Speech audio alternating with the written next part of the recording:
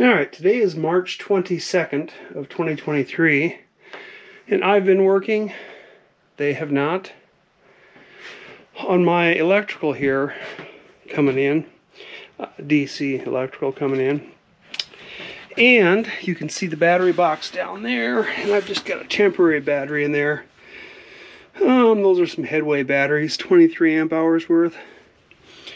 Um, and that's giving me temporary power in here in the ground. We'll need to go through, uh, it'll come up and go through a, a shunt here uh, so I can keep track of the capacity or the what's left in the batteries.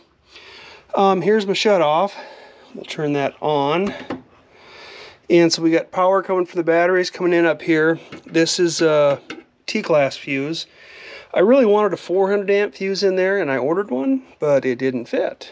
You would have thought T-class fuses would all be the same size as what I assumed, but it's not the case. But I had a 300, so I put a 300 amp in there, going to the shut-off switch. And then we're branching off here, and this is after the fuse, but this is, is, is always on. So this runs to a 200 amp, uh, I think this is an, an ANL fuse? now, this is a, um, a MIDI or an AMI fuse here, 200 amp. It goes into this block here, which has got three higher amp outputs and then four like 20 amp outputs. These will be for bilge pumps, which will be always on, and these will be for other assorted things that are always on. Uh, probably a solar input, maybe a solar input.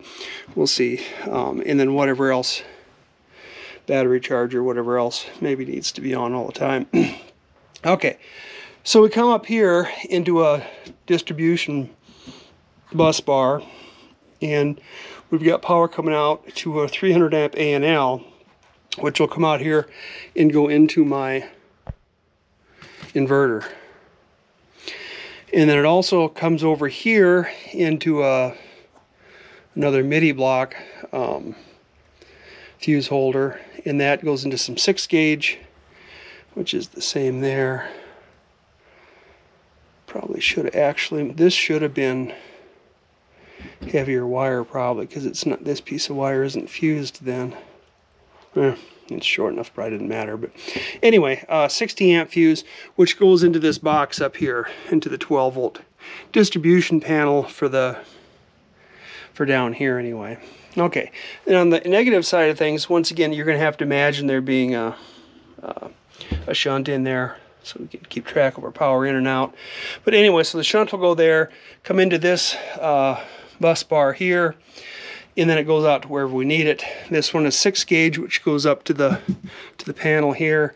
This is just a little uh, bus bar for miscellaneous odds and ends, you know, maybe the the pumps, whatever, wherever I decide to run the ground there. It doesn't really matter. It could, they could just run right off these too, but uh, yeah, so we've got fuses everywhere. Everything is protected. Like I said, this wire here isn't real well protected because it's got a 300 amp, potentially 400 amp fuse in there. So this should be a bigger wire. Yeah, I don't know why I don't know why I didn't put a bigger wire in there, but um, it should be enough to handle, you know, this current coming in everything needs protected downline. Everything should be protected. You know, in the case here where you could have put your fuse like off the battery bank, you could have put a fuse right off the battery bank, but I, I really didn't like that, so I got, you know, 18 inches of wire unfused right there, which is acceptable. Um, but uh, could be better. I mean, and I may someday put a uh, a fuse right off the batteries. We'll see how much room I got and how things look down there. But anyway, uh, so there you go. Um, and I've actually got power going in here now. And uh, there's, I've got this, this breaker here wired to supply power for, for, for the AC panel for the, for the lights, back lights. Um, and it also powers this, this outlet here, which is a voltage meter. Plus it's a USB charging port. So, yeah, so far it's all working and everything is, is, is going all right. Um, you can see I got a little bit of a negative bus bar in here too. And of course, once you get done, you'll have to tie everything up and, you know, stick it to the wall and make it so it's all nice and oops, I missed. Can't see what I'm doing. But anyway, so yeah, that's all working. Well, what little there is here. Turn that back off. And that battery down there is just for testing purposes. Wouldn't give me enough to get a whole lot done, but uh, but it would deliver some amps. Those uh, Headway cells are capable of putting out a lot of power. You can. That's my jump start pack. I actually use. I've got jumper cables that hook on there, and I actually jump start vehicles with that pack, and it works quite well. But anyway, that's what I've been working on. You know, it's probably been a couple weeks, not continuously, but um, just a lot of little piddling around stuff, and always constantly having to order something new. If it's more crimp fittings, wire, you know, terminal blocks, uh, fuse blocks. Yeah, there's always something to you need that you don't have. And the AC side here, this little voltmeter up here for that. And of course we got a voltmeter on the DC side too then. So yeah, and I don't know if I'll just leave this stuff open or if I'll make a little cover for it to cover it up.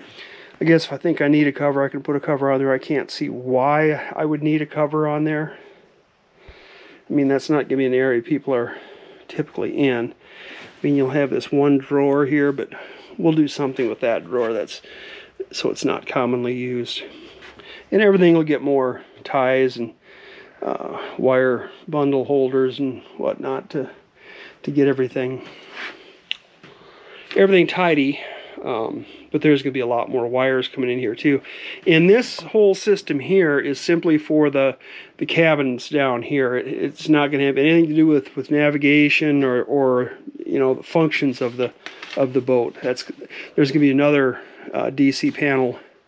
Well, not an AC panel. This will probably be the only AC panel, but this will be the secondary DC panel to the one up in the pilot house, which will control you know all the lights up there and navigation and instrumentation and chart plotter and you know whatever you need up there radios and so there'll be a whole nother board and circuit up there um, to me it seemed more convenient to do it this way uh, put the things that are going to be functioning down here down here and then just do a, a feed up to the you know we'll do a, a fused feed up into the pilot house, probably some two gauge wire or something. Most of this wire is double aught, two aught wire, and that's what's coming from the batteries. I debated using four aught, but you know the books I've been reading too, they've been saying you don't need four aught. Uh, you know, two aught is adequate for what we're doing here. So, and I've used two aught on, on a lot of things in the past. I have hooked up four aught to inverters too, but um, geez, it's such a short run, and you know you don't have much voltage drop when you're doing really short runs. That's one of the reasons too why this is going to work nice back here because it keeps the the wiring run relatively short. And back up here, up on the wall here, is going to be the solar charge controllers. And uh, I did some drilling already. I had to drill these out all the way down all the way down through and through a 2x4 that was support on the wall there too. But I got those all drilled out for wires that are going to go, you know, elsewhere. AC wires that are going to go out and whatnot. So, yeah, and you can see I got lots of... I got both my hydraulic crimpers out here. There's my big one. There's my little one do the 2 aught and 4 aught stuff with this one and the smaller stuff with this one. And I got all of my fitting, well not all my fittings, I got a whole lot more downstairs. Fuses and see here's that other fuse block. And see this one's not going to fit. Oh yeah, this is the one that came out of there. Never mind. Yeah, and here's a bunch of wire retainers and um, all, of, all of the heat shrink and uh, and fittings that I'm using, the, the crimp-on connectors, are, they're all double-walled or insulated with the, the hot glue stuff in them. So when you heat shrink them on there, they, they also seal up with hot glue. So, yeah, trying to do it properly, trying to do it right. we'll see. But yeah, so far so good.